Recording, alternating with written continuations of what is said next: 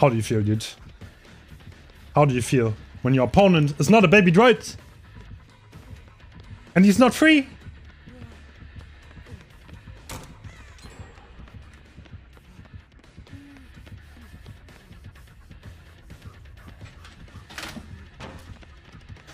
How does it feel, Legion?